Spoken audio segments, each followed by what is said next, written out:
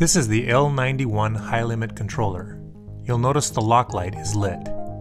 If the lock light is lit, you press and hold the reset button until the lock light goes out.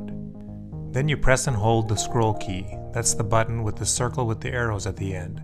Hold it until the display reads INPT and you'll notice that it flashes. We utilize J-type thermocouples in most of our equipment, and you'll see that this is accepting a J-type thermocouple. If it's not set to J-type, you can make the adjustment using the up and down arrow keys until it does say J-type, and the J looks like a backwards L. Press the scroll key and it takes you to the next screen which displays units. This is where you can set it to centigrade or Fahrenheit. We will change that to Fahrenheit by pushing the arrow keys. Press the scroll key and you will see Resolution RESO. This shows NODP, which means no decimal points. Press the scroll key and you will see Shift. This is where the offset is put in for calibration.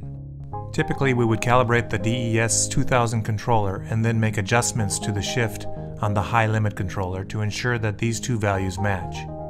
Press the scroll key and you will see Filter, which should be set to 0. Press the scroll key again and you will see we're using output 1 high.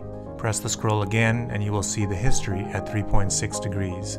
Press scroll again and you will see the low limit set point. Press scroll again and you will see high limit set point. Typically we like to set this at about 410 degrees Fahrenheit or 208 degrees centigrade, so we have some headroom above the high set point of the controller. At this point we are done. Press reset to release and you are back to normal operation.